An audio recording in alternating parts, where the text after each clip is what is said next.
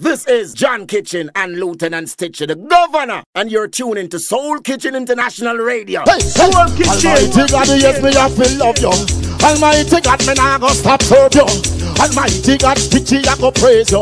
Almighty God, yes me have to thank you.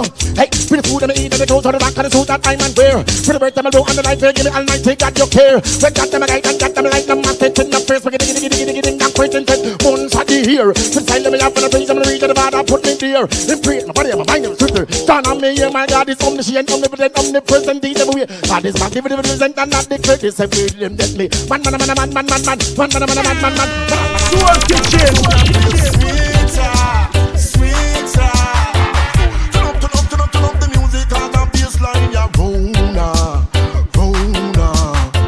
Some boy fall in a trance, some end up in a coma, some a run from the fire we blaze and I'm end up in a frying pan and fry.